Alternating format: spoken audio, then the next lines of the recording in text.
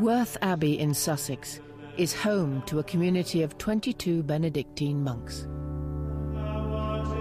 Last year, they agreed to take part in a unique experiment. The BBC asked them to open the doors of their cloistered world to five outsiders. The aim is to discover whether the 1500 year old monastic tradition has anything to offer modern life. The five men were selected by the BBC from hundreds of volunteers. The monks have no idea who their guests will be, but are looking forward to the challenge. We find that people say to us that they've got more and more of all these superficial pleasures in life, and yet at a deeper level, they're not happy. We believe that what we're offering is, in fact, the answer to that dissatisfaction with life. The five volunteers will live under the monks' rules of silence, obedience, and humility for 40 days and 40 nights. For each, it will be a challenging journey of self discovery.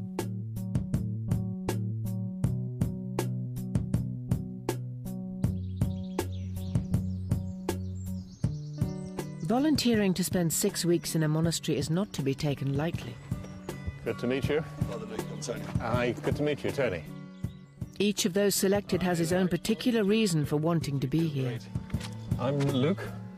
All have agreed to leave behind friends, family, careers, while they go in search of life's deeper meaning. It is light. It's very light. Let me guess what's in here. It's a parachute. Ah! Get me out of here. and I introduce Abbot Christopher, who is in uh, the superior of the community. For the duration of their stay, the new arrivals will be required to abandon the temptations and distractions of the outside world. Nicholas. Perhaps for the first time, they'll have the space to really question their values and priorities and discover if what they learn here can sustain them in their lives outside. Tony, we've got a room. right? The bedrooms, like those of the monks, contain only a bed, a desk, a wardrobe, and definitely no TV. Right. Monastic life may prove especially challenging for Anthony Wright, who works for a legal publishing company in London. Thing is, I can't hear you while I've got these on. Is that a problem? Quiet contemplation is not really his style. And, You know, I've been to Miami, New York, LA, Barcelona, Ibiza. And, you know, and I, I go to nice places, I hang out with nice people. Although, like many people, Anthony does believe there's something out there, religion plays very little part in his hectic day to day life. I think that'd be quite nice just to get a bit of that tranquil side. You can't ask me what am I expecting to find. I don't know what I'm going to find until I get there. I might get there and not like it, you know. Might get there and love it. I might want to be a monk. You never know.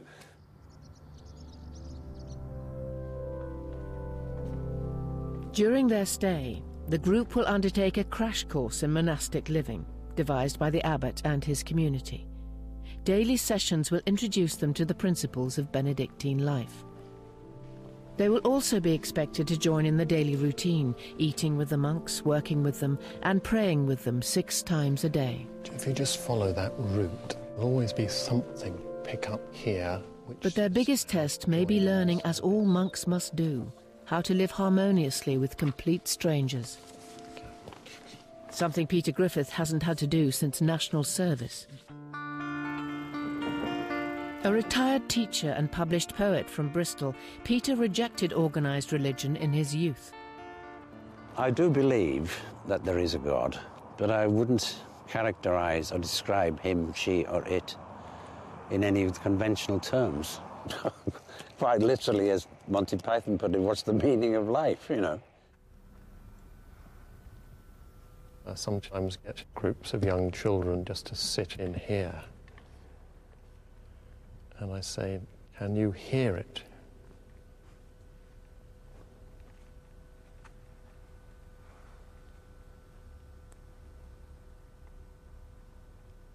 It's called silence. For some, just being in a church is an alien experience. Tony Burke is 29 and from Essex. I don't come from a religious background, so I think it's fair to say that I don't believe in God. Most of his working life has been spent in the world of advertising, until recently. He's now producing trailers for a sex chat line. I don't really consider myself working in sex industries, really. I mean, it's just something I'm doing at the moment, and everyone wins. I don't have any kind of moral hang up on it at all. Just uh, keep your mouth nice and moist. If I can learn anything from this, it would be what is good and what is bad. You know, if this can give me a really firm grounding and a launch pad for the next 29 years of my life, then, then that's a great thing. There are six times a day when we come together as a community to pray. They vary from 10 minutes to 30, 35 minutes. Part of it is to get into the rhythm of the prayer, and uh, we'll see how you get on with that. Obviously, Perhaps the most surprising candidate to volunteer for a stint in a Roman Catholic monastery is Gary McCormick. I was born in Northern Ireland and I always liked the Protestant side of things. And when I was 18, I joined the UDA. I joined it more to be accepted than to actually uh, be involved in the troubles. His time with the paramilitaries led Gary to spend much of his early life in prison. Twelve years on, he still carries the emotional scars. and really uh, homing in on these these things of distrust, these things of fear, these things of rejection, I can really uh, deal with it once and for all. After their tour of the Abbey Church, the new arrivals meet the community over Sunday dinner. It's the only meal of the week during which the monks are permitted to drink alcohol or speak. So obviously none of you are married in a physical sense. No, you wouldn't be. You wouldn't be able to if you were, you wouldn't be able to join a, a monastery if you're married. You've got to be seated. When you first come to a monastery, you haven't met the people before, just like you today. Yeah. So you have to try and live together. You must get monk rage, surely. Monk rage. Actually, you do occasionally get monk rage, but they're quite good at handling it. You experience monk rage from Hugh. Huge. Yes. Threw me over the hedge. You threw you over the hedge? Yeah. Right. I'll try not to throw you over the hedge. Nicholas Buxton is the only member of the group with any experience of monastic life, but that was spent with Buddhist monks in India. Now a PhD student at Cambridge, Nick has been on a spiritual search for the last 10 years. Initially drawn to Buddhism, he has since returned to his Anglican roots. I go to church quite frequently, but a part of me doesn't believe in what I'm doing. Everything is, uh, you know, an intellectual argument rather than just a matter of faith and practice. And there is the sense that it's taken the sort of heart out of it, and I would like to put the heart back into it. Like all Benedictine monasteries, life at Worth is based on the rule of St. Benedict. It was written early in the 6th century as a practical and spiritual guide to monastic living. So here are all the members of the Worth community that have ever been. What does uh, the DOM mean all the time? The Dom? Okay, good. Dom is the traditional way of calling a Benedictine monk. Oh, is and it? it's the short version of Domnus, which is the Latin word for mister. All right. As in Dom Perignon. As in Dom Perignon, well said. Yeah, there's a man who Dom. what you don't know. Champagne lifestyle. What, it's the Champagne lifestyle. Of course, that's where monks meet Champagne lifestyle, is in Dom Perignon, because Dom Perignon oh, was a Benedictine monk.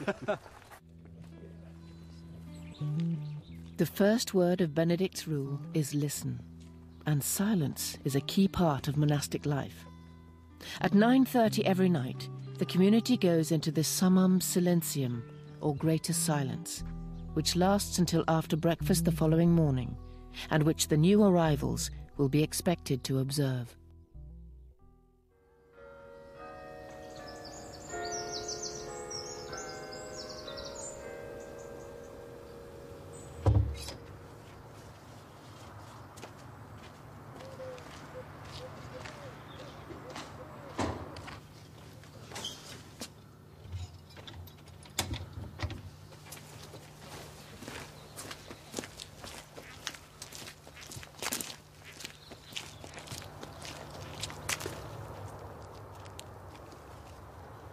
Morning was like, you know, this really is quite strange, isn't it? And really, what am I doing here? You know, it's nearly ten past six, and I've now got to go into chapel and pray and stuff like that. It's work, isn't it? I suppose it's like, you know, this is what you're here to do, and it's like, it's not funny anymore.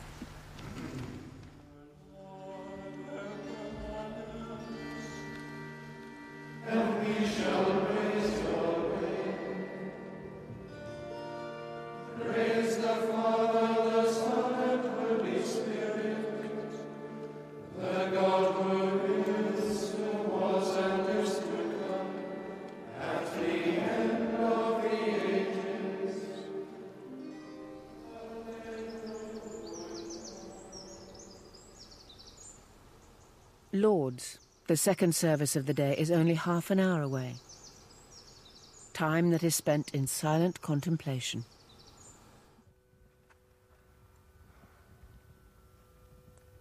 The silence is like a wonderful spiritual bath, which we invite you to get into to relax your spiritual muscles so that you can start listening to God, listening to other people, and listening with the ear of your heart to your own deepest self.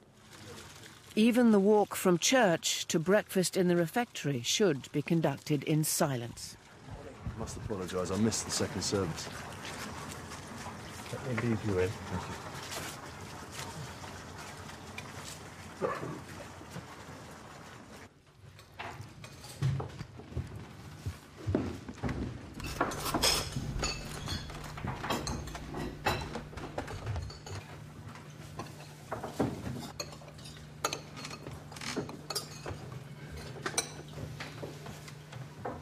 It's only when breakfast is over, two and a half hours after getting up, that speech is once again permitted. Basically, what the company does, they sell live sex chats off the screen with text, big boobs to 8499 and stuff like that. Mhm. Bit of girl on Right. girl titillation. There's no blokes involved, it's just uh, lipstick lesbian stuff. Oh, well, not a bad job, is it? no, I've had worse. you do need a break from it. Will you come to the right place? You'll not see anything like that, will you?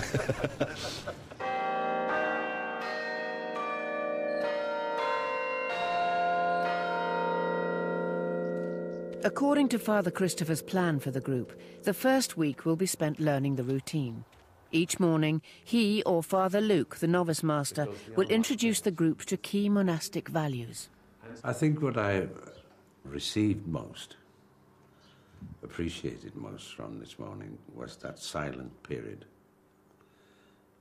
Talking about silence, because I don't come from any faith, and I, at, at this period in my life, I don't have God in my life. There's actually nothing to fill that silence. At the moment, it is kind of blank silence. So I think my short term objective would be to try and work out how to use that silence and benefit from it. I'd probably say it's at the other angle for me because actually, when there is silence, I'm actually thinking. You know, and I constantly think about family members, past, you know, ones that are dead, ones that are here, and you, you just use that time to even say a prayer for them because I'm not religious, so to say, but I am very aware of a higher being. I know a lot about silence, if you know what I mean. I spent long periods of time in solitary confinement through misdemeanours in prison. So for me to come here, it isn't, it isn't a struggle.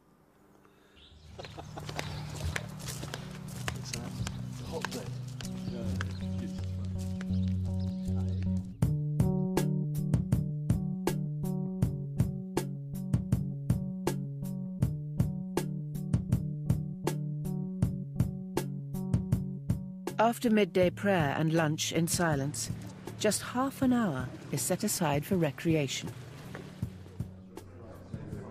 It's an ideal opportunity to get to know the monks. I think it's always got to be an individualism, makes a choice. Which is the way to the good for me? And I've stayed with it, and um, here I am in these funny clothes and um, Brighton nil, Plymouth two, and Brighton had a man sent off. What sort of team? That was like an own goal, Gary, you a know- man sent off, and then a penalty. God, I'm not too worried about that, Gary. They had an off game. Puddlegus here. I've written a wee prayer out for you. That's really good of you. Really and, good of you, Gary. And Yeah. I've, I've said to the Lord, Lord, please, would you help uh, brother Rob? Because I know he'll be in mourning this morning after after the game last night. I appreciate that, Gary, but I think we'll be okay. It's a fairly busy timetable. Yeah, it is, isn't it? It's very, you need to you learn a lot of discipline through I think. Take a few days to get into it, but once you get into it, it'll be all right. Yeah, absolutely. Well, I'm sure there'll be a few missed appointments. I think so. A few missed appointments with God. I could, I could feel like going to bed now. I'm knackered.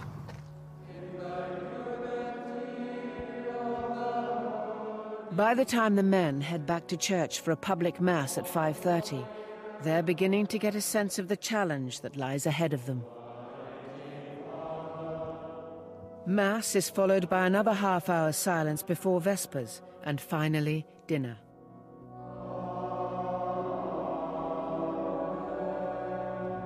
The last service of the day is Compline at nine o'clock.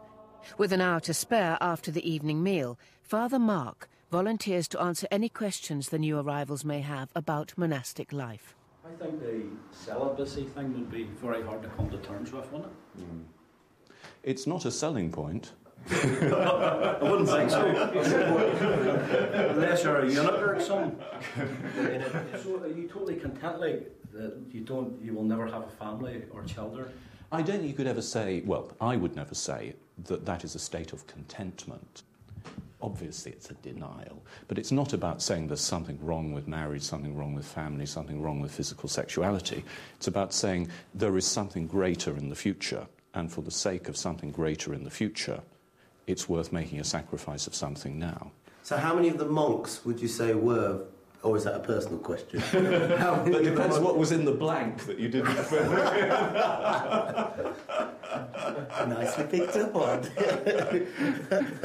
was uh, hoping you were going to fill think- in the blank. I think it's fair to say that's a question we don't usually ask one another. okay, okay, okay.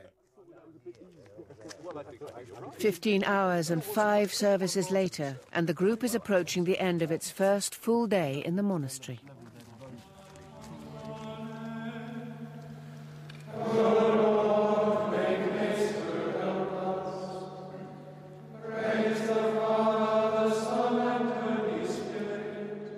God, I'm here one day and I'm already thinking, have I really got to be here for six weeks?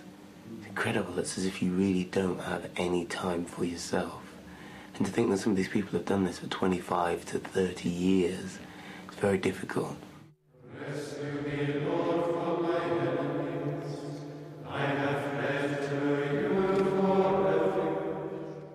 It is a very comfortable environment for a bunch of men to live in. If you're 16 and you're looking for a career with guaranteed success, you know, get yourself down to your local monastery because um, I don't think it's the hardest job in the world. And you can be easily very good at it just by toeing the line and not swearing. And, uh, and not having sex with anyone.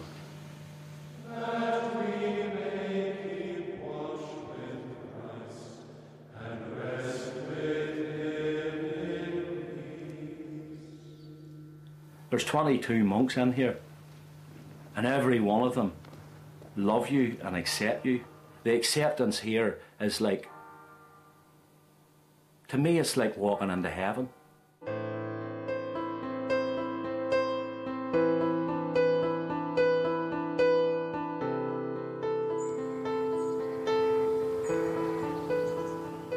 Having already attended two services before breakfast, Nick makes the most of the silent time.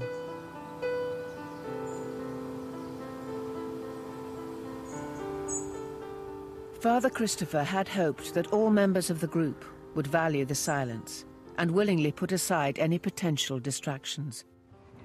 Okay. Yeah, well, you could do that. You could just. But for those unused to it, too much silence can be unsettling. Well, I'll, I'll text it to you, yeah? All right, then, darling. All right, then. Okay, then, bye. You're supposed to listen to that in your room. All right, yeah. Part of the rule. Yeah, that's right. Well, no. That say? I'm trying to put on for a minute. Yeah. Where's the go button? I've done one. Two That's two minutes. minutes. No, no, one minute. Starts. Starts that one. Okay. Go.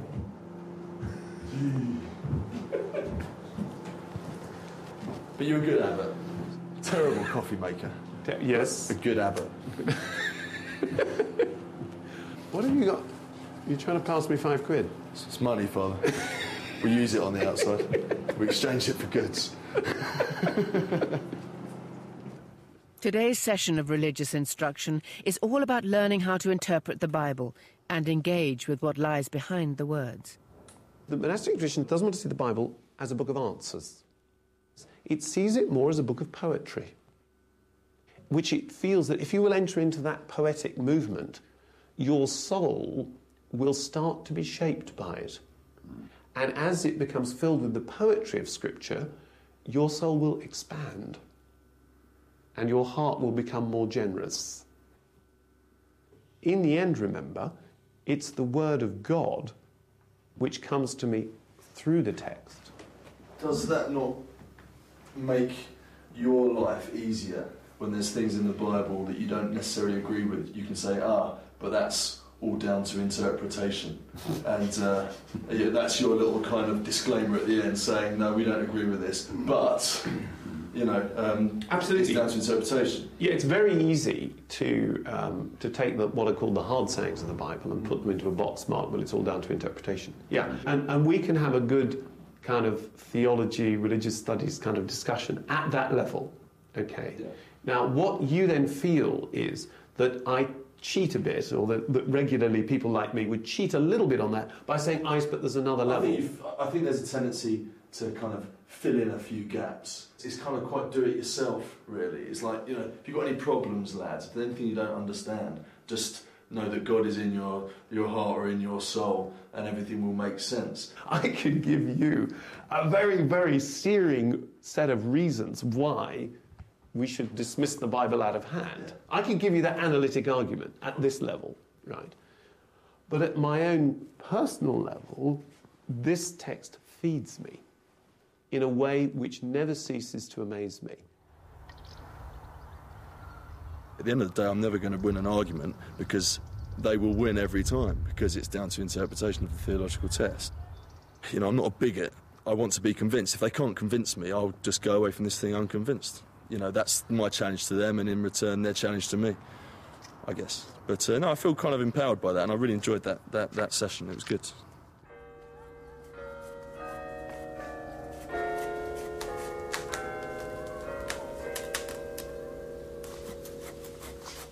Every afternoon, the monks change into civvies for manual work around the estate. Tony and Gary are supervised by Father Bede. Damocles' sword, isn't it? I think Tony's at the moment at a very normal contemporary place. Namely, he's got a lot of ideas, a lot of questions about whether there's more to life than what he's currently doing, about whether religion's got something to say to him, and he's got 101 objections and questions regarding spiritual and religious life. And that it, at a certain point he has to make a choice as to whether the insights of the human heart are going to come first and the questions later, or whether the questions are going to come first so that in a way he never gets to the insights of the human heart. So this is going to be interesting to see how monastic life might or might not help Tony to get to the heart of the business. While Tony and Gary cut back trees, Anthony and Peter are gardening with Father Patrick.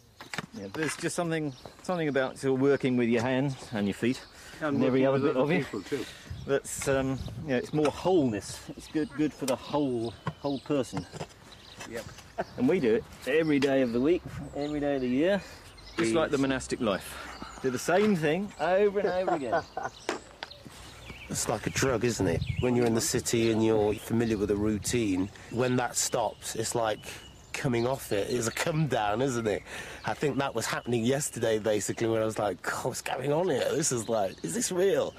But uh, today I kind of realised and thought, well, hmm, okay, I can feel the rhythm of it here, basically. I'm quite fascinated to know what's behind it or what makes them tick, what made them in the first place come into it. Because, I mean, coming into somewhere like this at 21, It's got to be a big step in your life. I mean, what else was you doing that would make you be so bored that you want to come here, basically? Well,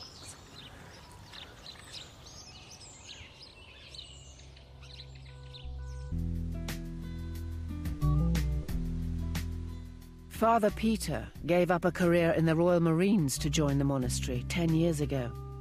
During his second session on meditation, he explains why.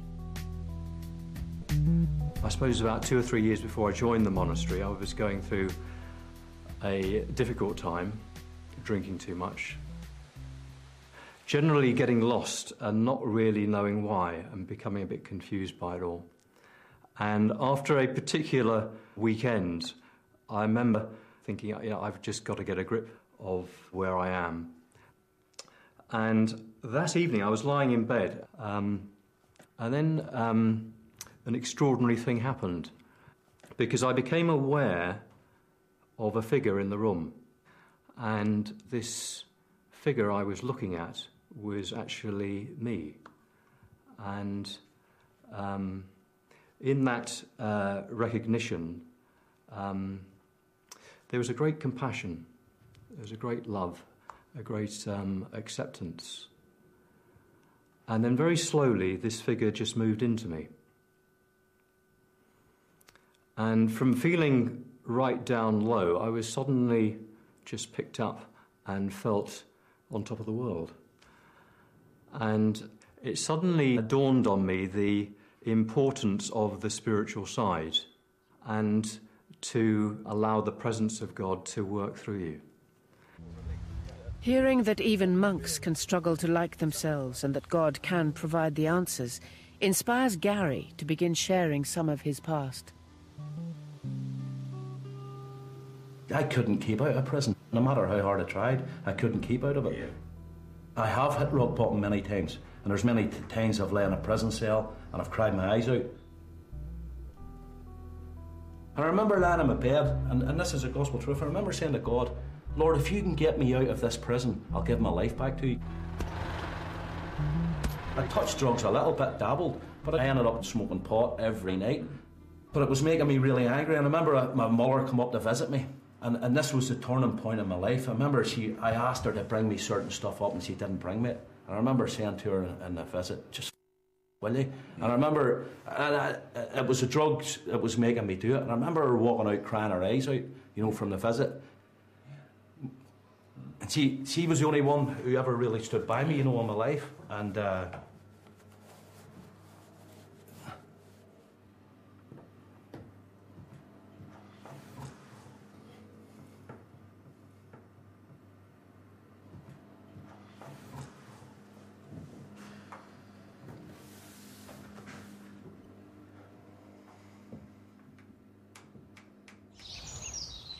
It was during one of his many stays in prison that Gary says he found God. But no matter how hard he tries to live a Christian life, the past always seems to intrude. There's so many things going on in my emotions and my mind, and I feel very insecure about myself or inferior about myself. Then I think everybody else can see it. Obviously, they can't, but it's very hard to tell yourself otherwise. Later that afternoon, Gary seeks guidance from the abbot. You've obviously been through much bigger traumas than most people, thank God, will have to go through. Yeah. But I think what the monastery can give you is a place of acceptance. You know, instead of putting myself down, I might as well start to be positive instead of being negative about the aspects of, of the past of my life because I believe, and I do believe, that I'm going to find freedom from it. I really do. Yeah. It's interesting what you said about not putting yourself down so yeah. much because I've noticed that that, yeah. that you did. I've done it all my do life. that a lot. Yeah, and I think that's one of the things I would want to um, get you to just reflect on is that you don't need to keep doing that. Yeah, because um, one of the things that living in a in a community teaches you is that everybody has got some particular aspect of themselves that pulls them yeah. down.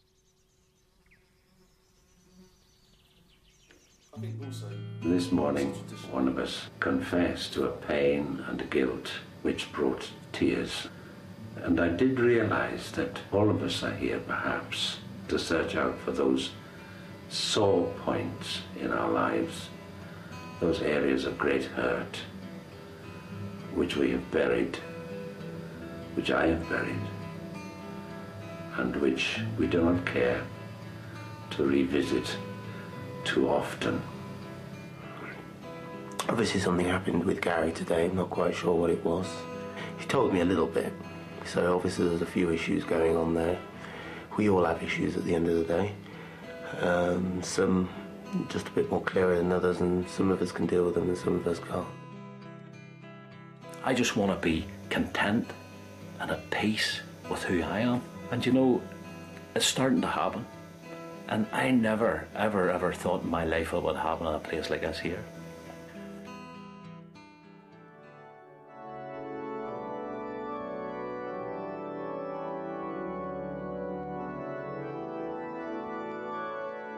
Although not everyone is ready to be as open and honest as Gary, Tony has realized that if he too is to get the most out of his time in the monastery, he will need to face up to his past. Me and my partner made redundant from the advertising agency we were working for, so we got paid off and nothing came up for a while, and you know I became increasingly despondent and I started drinking too much, and then that became a routine, and I found myself in a fairly dark place, entertaining some pretty dark thoughts, I suppose. I didn't want to carry on. I didn't want to physically um, occupy another single second or minute on the earth. I wanted somehow for the problem to be taken away. So uh, I turned to my parents. You know, and they they whisked me off to hospital, and, and within 24 hours I was, you know, in a in a safe place. It was just a rehab centre for drugs and booze. I'm more willing to talk about it because things are changing for me in this place. But, you know, I'm a grown man and I should be able to face up to my responsibilities. And, uh, you know, if I can't handle my drink, then that's just something I need to adjust in my life.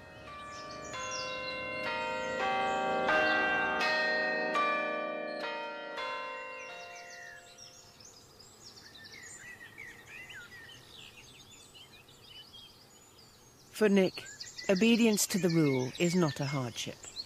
But this is a spot I, I've chosen in the monastery, and I usually come here uh, before the first office, um, between at about six. I'll come here about about six o'clock, and just walk up and down gently for about 15 minutes, and then go into the church. I find the mornings um, are quite a good time for me to to sort of chew things over, as the monks are telling us. We need to chew things over. For the rest of the group, the concept of obedience is proving more challenging. We're going to look for virgins and cigarettes in the nearest town. Listen, I am not looking for virgins. He might be. I'm looking for cigarettes and chocolate and Lucozade. I'm definitely looking for virgins and cigarettes. But if we if all we can get is Lucozade, then that's fine. Yep. Yep. Fit. Yep. Fit.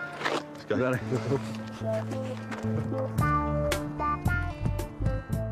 In the grand scheme of things, jogging down to the shops for treats, listening to Stevie Wonder's greatest hits on your personal stereo, or grabbing 40 winks instead of reading your Bible are minor misdemeanors.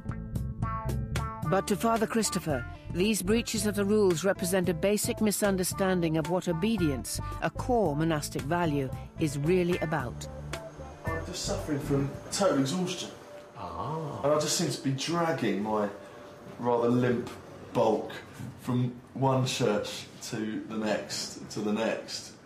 I think the, the essence of it is it's tiring being obedient to somebody else's timetable. I haven't been that obedient. ah, well, we'll talk about it. Cool. Right, so are the chaps ready? Yeah, we're all done. Yeah. Are they, are they next door? Good. Well, there's um, Anthony and me. Father Christopher feels it's time to introduce the group to some of Benedict's more challenging ideas. If you look at the way St. Benedict writes his rule, it's very obvious that obedience, silence, and humility are at the heart of what he thinks are the tools that monks use in order to respond to God's love. So Let's just take the interesting practical example that um, Tony brought up this morning.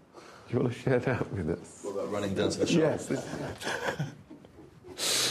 It didn't take a genius to work out that, um, you know, I, I, was, I was doing wrong. I was, I was disobeying. So I was Right. indulging temptation. Um, Yes, and another point Anthony just made. Not asking permission. So you feel indulging yourself, not asking permission. And I think the point to hang on to, though, is that it's not a discussion about whether or not chocolate is a good thing or a bad thing. It's not about that. Um, it's to do with how you respond to your own impulses and how you allow yourself to be shaped by other people's lives, which is the permission thing. And this is the kind of depth at which Benedict's proposing it to us. And what he wants you to achieve is that inner freedom which says, well, my impulse is to go that way, but I'm being asked to go the other way, so I'll go the other way because I want to be free from that impulse. And I think there is a bit uh, around in contemporary society that thinks that I'm being able to indulge my impulses when I want is the peak of freedom. And what the rule is saying is actually no, there is a better freedom. And I think that's the challenge for you is is this way of life going to help you to be true to yourself in a new way and find a new freedom? Or is it just going to stay at the level of um, I'll follow the routine and occasionally make little trips out to sort of assuage the pain of that? And I think that, that's the challenge. no more trips to the shop. Oh, well spotted, Tony. For those in need of refocusing, Father Christopher's words have the desired effect. The wonderful thing about Benedictine life is that it's not like training an army.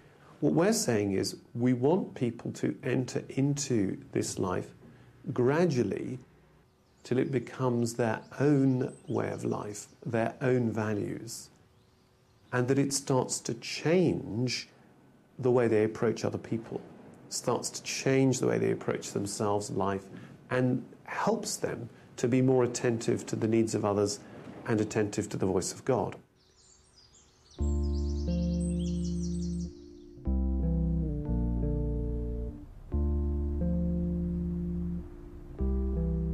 Nick has no problem being attentive. But Father Mark, his spiritual guide, is keen to try and pin him down on the question of faith. Within the way you see things right now, is God someone or something requiring translation? But the word, yes, because the word is in itself only a word and has no intrinsic meaning. So you have to say, well, what do we mean by this word, God? And, and what do you mean by God? That's a big one. You've got five minutes. Uh, you see, I, on a good day, you see, if, if, you, if you say, Do you believe in God? Well, first of all, I'll say, Well, what do you mean by you, God, and believe? I can just about handle the do and in. That's a good refuge. Um, and then I'll say, Well, on a good day, yes. How you get from there to the God of faith is difficult. I prefer, being the kind of person I am, to just keep it simple, stay at that very abstract level. At the heart of, of what I see um, the Christian faith as being about Mm. is a simple statement that isn't simple Mm. about the Son of God incarnate. Mm. Um, now, I'm aware Yeah, it's, it's a very not simple statement. It's a very not simple statement. Um, but, I, but I'd like to ask you to, to, to look at that statement Mm. In what's done here, what's said Mm, here, mm, what's mm, mm. sung here, Mhm. what we've been doing today. Yep. Um, because I think that's what we would say we're about.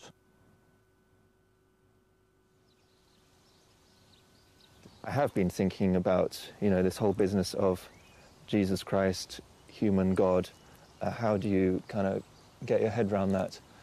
um, which of course is the heart of the Christian faith, and you know, um, just happens to be the bit that I have the most difficulty with.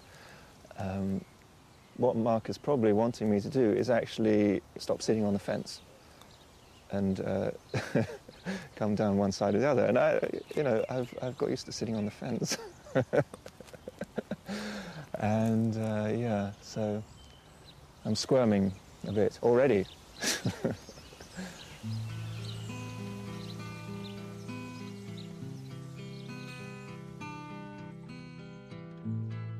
See, look at him, really keen, really keen. I'm not really keen, I just don't want to pull a muscle.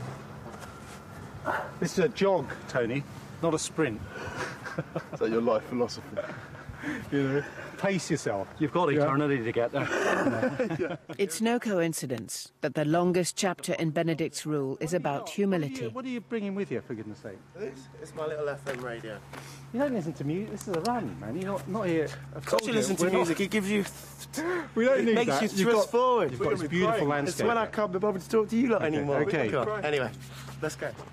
If the monastic community is to flourish, each monk must learn to be truly humble before God, ridding himself of ego, arrogance, and pride. After just 10 days together, the new arrivals are struggling to live up to Benedict's ideal. I just find that Anthony holds almost everything back. I haven't really got anything to say to him because I can't engage with him on any kind of emotional level. I mean, he's very. I mean, Anthony talks a lot about money and fantastic bars in Mayfair that he drinks in, and his car, and his wealthy friends, and polo matches he goes to, and, and money is clearly Anthony's God. I do wonder why he's here or what he's trying to find. What's your first sort of response to the word humility? Is it something that you have thought about? Perhaps it is, perhaps it isn't. I've been to rehab and done a year and was doing wonderful in my life. And the pride rose up within me. I thought, I've made it. You know what? My life is back together. And I walked out the door, and within a period of time, I hit the deck big time. But that isn't that something also is disciplining yourself and a bit of strength to have a bit of belief. What I'm trying to say is, you are fortunate that you have a strong whatever you've got to, to say no to yourself not to do that there. I don't know exactly how you feel inside when you mess up or have a mistake, but I know that how I feel when I feel. Yeah, but I'm also not somebody who's been completely teetotal all my life. I got involved in many things, but there came a time in my head when I knew I didn't want to do it anymore. You, you may have strength, but you will not, never have 100% strength. You, there will always be the potential for weakness. You have the power to say no. You have the power Nobody, nobody stops you from saying no. No, of that, that course. is your will. Yeah, nobody just, stops just you say no, saying kids. Fine, but Sorry. Anyway, no more. See, uh, sorry, just to say, sometimes you can become very black and white. You know, if it's not this, then it has to be that there. But Well, I the thing- don't see the world black and white. I see the world in a very panoramic way. Yeah, Some people but- see it very like this. I see it like this. But I used to see it but like I just don't think that I Yeah. have to give you all of the information No, no, straight away. I think I, I drip feed you basically, so you can. You know, if I give you all of this information at once, then because you've got your own stuff to deal with.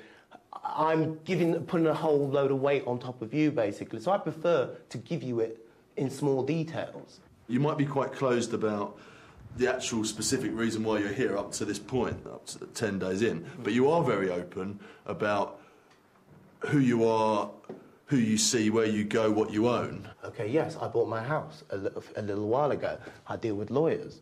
Okay, I make enough money to survive. But yeah, they're just things that generally come out. I'm not telling something that's not true. But you're missing the point. I'm not begrudging, Well, the I'm not be- no, but it begrudging seems you like that, anything. but, or it, but it seems like What that. I'm saying is, but, it- seems like, and it's because of the way you're directing the question at me.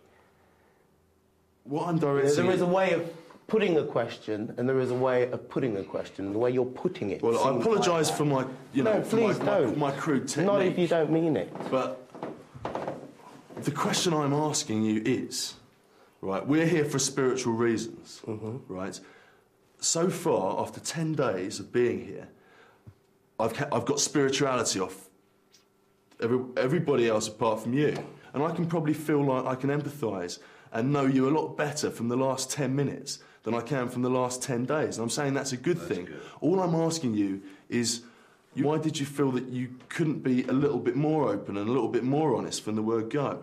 Because it takes me time to trust you enough to give you that information.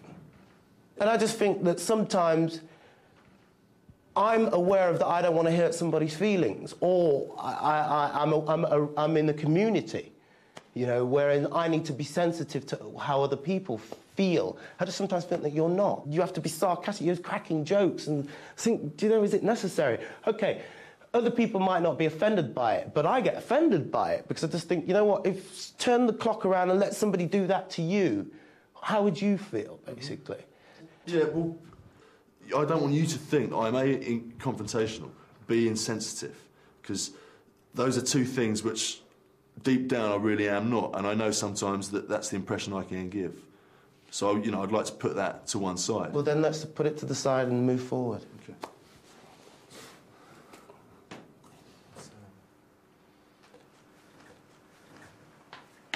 Trying water after that. Humility. well, it's interesting it came up in that context somehow. Mm, somehow that was perhaps. And in a sense, you want to just sort of carry on talking, and in a sense, I just want to sit quietly, you know, and, and just say that's, that was holy ground.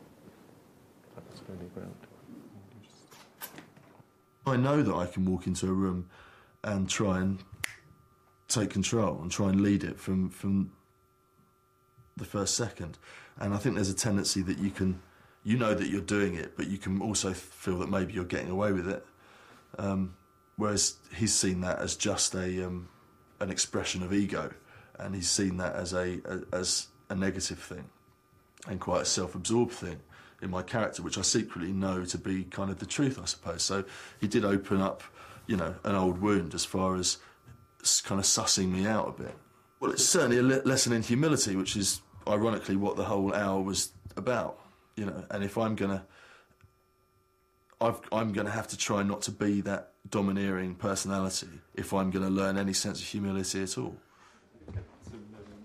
Despite having got his point across, Anthony is upset by the realization of how others in the group see him.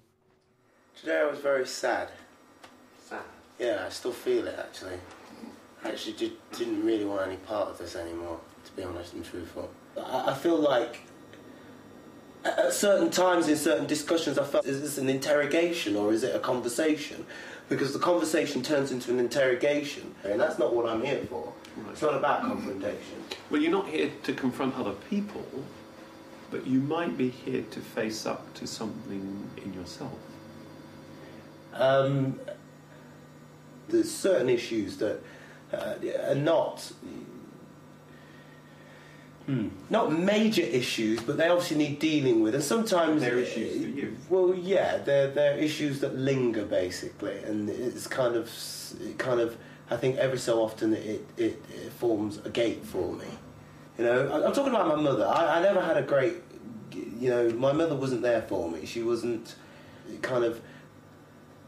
I didn't feel loved when I was a child. So I think many of most of my life I was always trying to find someone to love me basically. And then at a certain point in my life I decided, you know what? I don't want to find anybody to love me anymore because the only person who's going to love me is me. Sorry, I talk a lot. No, no, this is good because you're being very honest about how you're finding the process, you know, is affecting you, and it's obviously affecting you very deeply. And the process involving the other people is affecting you deeply. How does this relate to the process of the monastic life that's going on around this? Do you see a connection between these two at all? Um, I think the only connection would be is that obviously there's five of us there, and the idea is for us to communicate and to get on with each other. Um, obviously, you know, I was very aware before I got in here there was going to be one person I didn't like, and there was going to be one person I did like.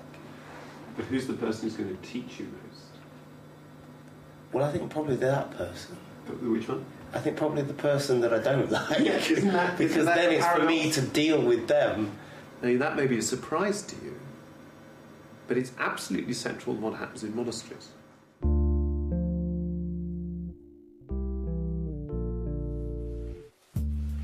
Have you always been Anthony though? Uh, at school. People used to call me Jason.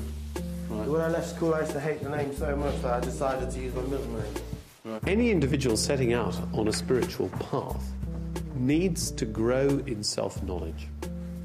And the most real way we grow in self knowledge is through seeing ourselves through the eyes of other people. Now, this means that any individual who is serious about being spiritual has to live in some kind of community. St. Benedict's adamant about that.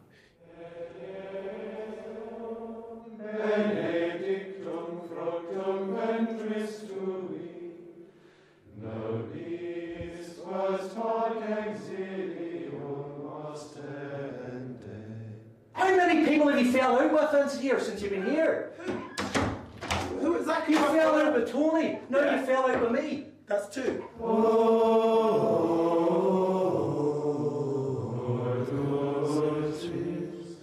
Are you going to be able to find any love in your heart for them? Purify me, then I shall be clean. Though wash me, I shall be whiter than snow. I just hope that we can sort it out. I really do hope we can sort it out for for both our benefits and for the community's benefit.